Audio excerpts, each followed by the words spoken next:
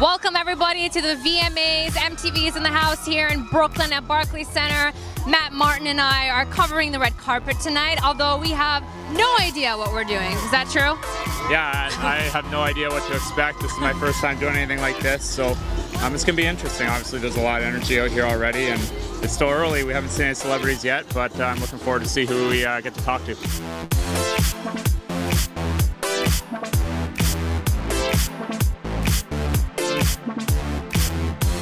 Austin, who are you most excited to see tonight? I'm really excited to see Drake perform. He's one of my favorite artists. Hopefully, there's I hear there's an NSYNC reunion, so I'm really excited. Hopefully, they'll do that, and uh, I'm actually sitting next to One Direction, so I'm, I'm really excited about that. That'll be fun. Yeah. Good luck tonight. You know what? 2 Chainz looks like a really nice guy. Look at that smile. I'm Hi, wondering how long it'll take her to How touch are you? fur.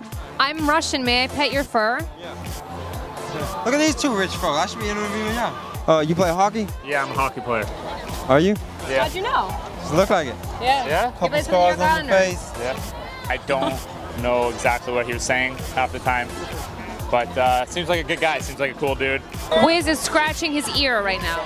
Can we have a count on how many times Matt goes, who is that? It's Miley Cyrus.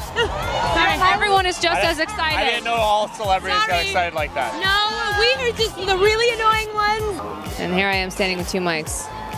Man, oh man, is this awkward. Katy Perry is so hot. I think I lost my co-host. I just had to go take care of some things Oh, okay, some back there. Okay. Actually, truth is, Kate, Katy Perry was looking for me, so um, slid over there. Went and talked to her for a little while. She wanted to take some pictures. Just, mean- player, huh? yeah, Yeah, that's my number one sport, man. yeah, you a big fan? Ah, I'm a huge fan. Who you a fan of? Uh, actually, Dustin Penner's a really good friend of mine. Okay. Yeah, the Kings. All right, very Uh, cool. But now he's out with the Ducks now, so now I'm a Ducks fan and back again.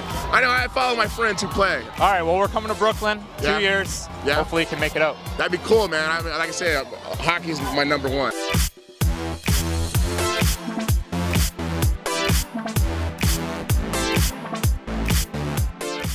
Right, that's a wrap for us. We're gonna head inside Barclays Center to catch this amazing experience, the show. Final thoughts on the red carpet. What'd you think? I had a great time. I want to thank you and uh, Barclays Center for having me. You know, once in a lifetime opportunity for me. Had a great time. Got to talk to some cool people. Um, got to spend the night with you, and uh, really looking forward to the concert now.